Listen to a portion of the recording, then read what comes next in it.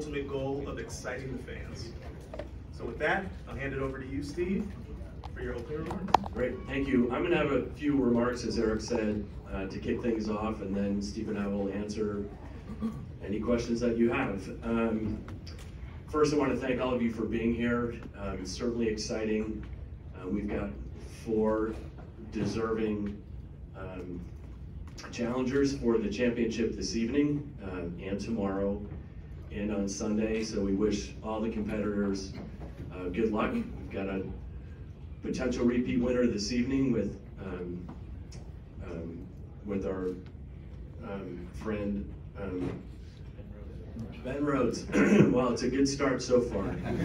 So Ben has been a deserving champion, and um, but it's great to have three challengers there. Tomorrow we will crown a new champion in the Xfinity Series, and then we have two drivers that are going for um, for their second championship and two that are new. So really exciting storylines, um, and that's what you guys do when you do so well. So for many of you, um, Steve and I get to see you at the racetrack um, every week. Other you, others of you, um, we see you less than that, but it's all important. What you do for our sport to bring those storylines to life to our race fans uh, is really important. So I want to thank each and every one of you for what you do. Um, it is important. Um, obviously, I have a, a friend up here um, and Steve O'Donnell, who's our Chief Operating Officer. This is the first time Steve has joined me here. Um, I'm excited to have Steve here, um, not because it was his birthday yesterday, um, but because of all the great things. Oh, did I mention that it was Steve's birthday yesterday? Happy birthday, Steve. We won't sing for you this time. Um, but I do think um, you know Steve deserves to be up here. He's uh, he's worked incredibly hard. He's been a long-time employee of NASCAR, um, and under his direction, he's he's done some terrific things, and I'll get into that in some of my opening. But I thought it would be appropriate for Steve to be up here with me. Um, kind of the meat of the matter about what I want to talk about. Uh, what I want to talk about is the successes that this sport has had. Um, we've just we're about to conclude um, our 74th season, and what a terrific season it's been in 2022. I'll get to that in a second. But I thought it would be appropriate to actually take a step back. Um, many of you were in the room in Miami when I had the opportunity to do this for the first time. Um, and I think we at that particular time, we were, we were a sport that frankly was um, struggling. Um, our ratings were down, our attendance was down there weren't a lot of bright spots. And I stood in front of you and I talked about our our best days, being, best days being in front of us. I know that seemed kind of foolish, and maybe some of you were snickering. It's like, I'm not sure that's going to happen. Um, but we, where we sit here today, I think that's exactly what's happened. Um, and I think you, you, look at 2019, our ratings were up. Um, our attendance was up in 2019. 2020, we started the season off with um, with a sitting president at the Daytona 500, and then the extraordinary events of Ryan Newman at the end of that race, um, and how scary that was. But you look at the, the first four races of that year, our ratings were up, um, and then COVID hit. And you know, COVID was a, a, brand new world for us. And on, on March 13th, when we closed down, right, and, sh and shut down our operations and sent everyone home from Atlanta. That following Monday, Steve and, and other senior members of the team, we sat down in Daytona Beach, Florida, and we devised a plan, or started to architect a plan that would get us back to racing, um, which is exactly what we did. And that was a very scary time, those 71 days, and, and what our industry did to come back and collaborate to get back to, to be the first sport competing, which is what we did on, on May 18th at Darlington. Initially without fans, and then the first sport back to competing with race fans. Um, when we went to, uh, to Miami, uh, Homestead Miami Speedway, and then on to Talladega. And, but it was the events that, bless you, Jenna, the events that happened in, in June of 2020 I think, set the course of NASCAR to change where the sport was from a reputation standpoint and from a relevance standpoint. And that was the stance, on social justice.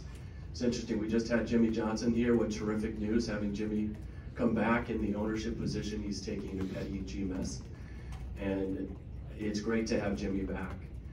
But Jimmie led a group of drivers to create a video that talked about learning, being educated, doing better um, with respect to understanding what was happening in this in this country and, and kind of the reckoning that was was happening. And Jimmie gave permission for the sport to come out and do the things that we did and say the things that we did. Um, and that changed the face of the sport forever. And you look at the results that have happened just in 2020, frankly. New ownership with, with Michael Jordan and Pitbull, um, and others, frankly. People of color are coming to the sport. Um, our own hiring practices and what we've done, you know, what has happened throughout the garage um, and drivers, um, um, like a Daniel Suarez winning this year, a Bubba Wallace winning again this year. It's important, um, and it's changing the face of the sport as we as we move forward.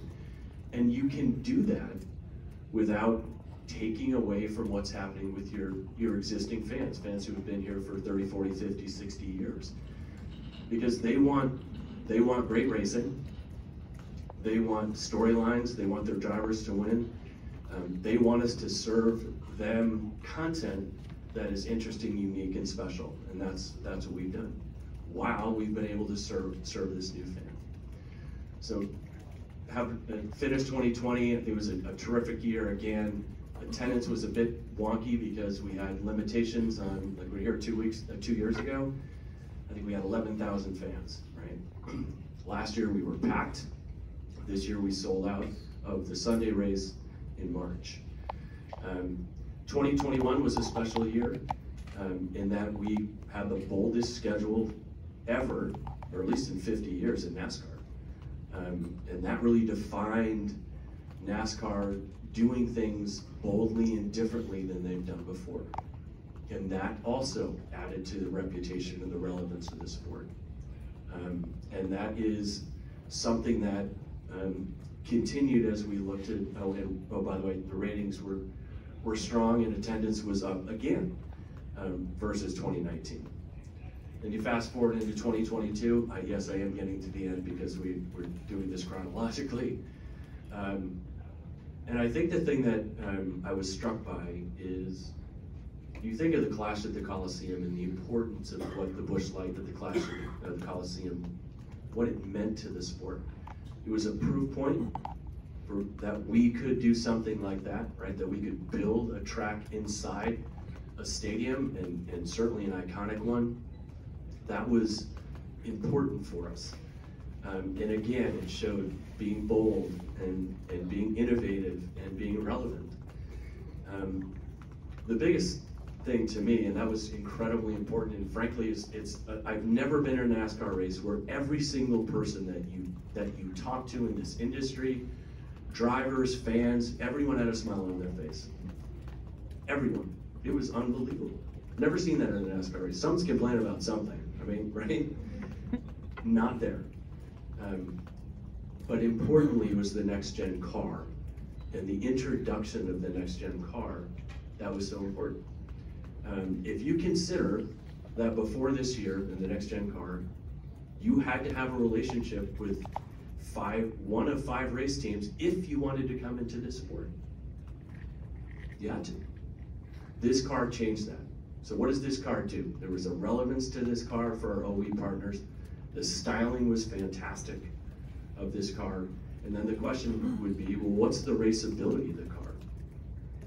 And the raceability of the car was such that it resulted in 19 different winners, so more than half the field won a race in NASCAR this year. Five first-time winners, more green flag, path, uh, more passes throughout the field in a single season. By that, by the way, that happened four weeks ago. Um, so I would say the racing has, has been, is delivered, it's been terrific. I did want to touch on, on one thing relative to the, the safety of the vehicle. I'm sure there's going to be a question that's going to come from, from one of you. Um, the car was designed as safety is the number one priority for that car. That's how it was designed. And it was designed to make sure that the horrific situation that we saw with uh, with Ryan Newman of the Daytona 500 and the intrusion that happened into his vehicle, or the crushed roof that happened with Joey Logano in Talladega, that those things needed, the strength of the car needed to be there. And that is something that was first and foremost um, into why that car was designed. Um, so I would say, and I want to give a public um, shout out to Steve O'Donnell and his team. Nothing short of spectacular, and what a bold play, right? So a year ago, I think someone asked me, "What's what's the what keeps you up at night?" The car kept me up at night. Whether we could put that car on the racetrack at the Clash of Coliseum. You've had some, you know, supply chain issues and all the rest of it.